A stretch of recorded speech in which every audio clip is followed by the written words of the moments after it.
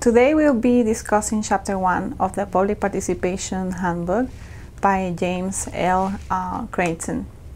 Let's start by defining what um, participation is, so later we can discuss um, what is actually not, and that's like the title of Chapter 1. Public participation can be any process that directly engages the public in decision making of any agency, and the agencies can be many it can be uh, city, uh, specifically the planning department, but it can be many other departments. It can also be nonprofits, or maybe you run a community association or a small group. Uh, so public participation will be applicable to all of those um, scenarios. The idea here is that this agency or association will give consideration to public concerns, needs, and values. Public participation, according to Creighton, which is the author of the book, requires a two-way stream. So it's not only providing information to the public so they can be informed. Um, for example, when uh, you put a website together and you give information of when you have a public hearing, but you're not like listening to uh, the comments of the of the public, that would be a one-way stream communication. So the author of the book will say, well, that is not public participation because the community, the residents, the neighbors are not actually expressing the public concerns, uh, needs, and, and values. So it's not only information. It has to be a two-way uh, stream in where you're listening and considering the uh, what the public has to say in order to make a decision in your organization or your agency. In our case, it will be planning. But it's also an opportunity for um, an interaction with others so you can uh, make better your plan. Uh, Dr. Creighton made a survey um, and he actually was like looking into many reports um, in many different uh, plans, in different uh, types of writing that writes about uh, decision making and about planning. And he actually was trying to define um, how those uh, different documents define public participation.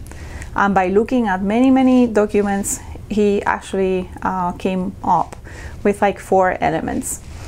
Uh, number one is that um, public participation is a criteria applied by, by an administrative body, which could be government, or as I said before, non-profits, or even um, a business, an association, um, and that the idea is to achieve public input.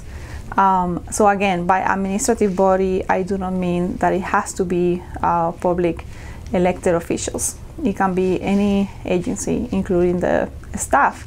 So when you're a planner, you will be a decision maker uh, as well.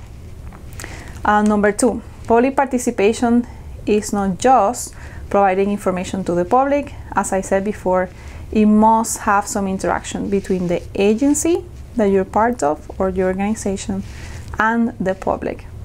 Uh, number three, there is an organized and planned uh, process for involving the public. So it's not something that just happens haphazardly uh, with no thought.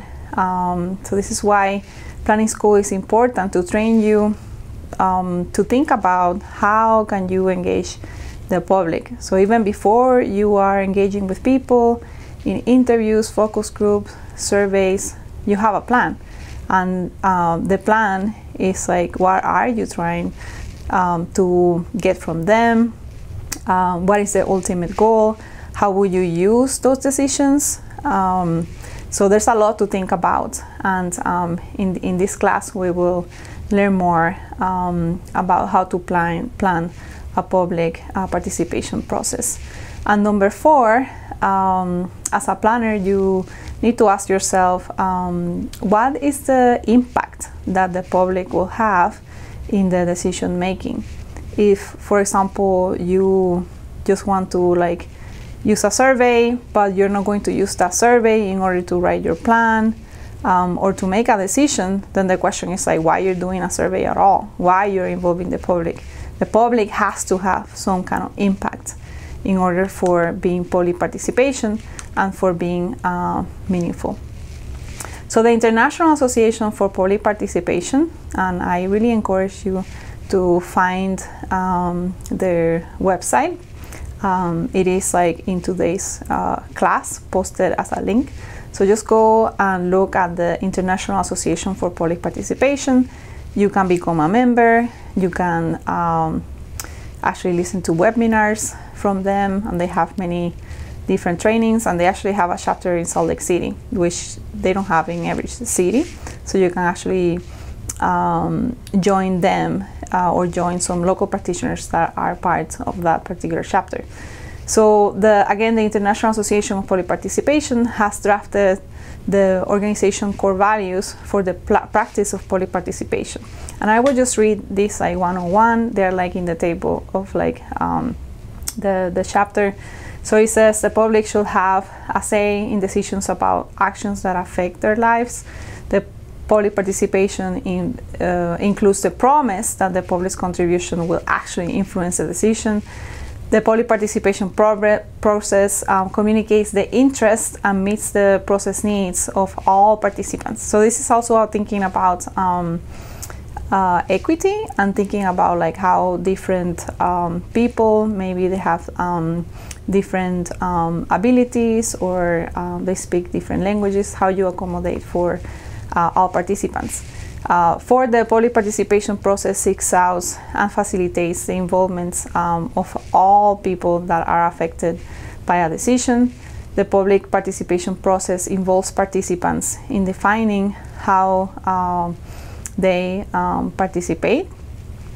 The public participation process provides participants with the information they need, um, and this means like um, you have to educate the public um, so they can actually understand um, what is her, at her hand and they can actually participate in a meaningful way, especially if the information is like very uh, technical. And the public participation process uh, communicates to participants how their input affected the decision. So it means that if you involve people, let's say in a survey, um, you want to ask for their email address um, to see if they want to like hear from the reports and uh, other news. So there might be a public hearing associated with that survey.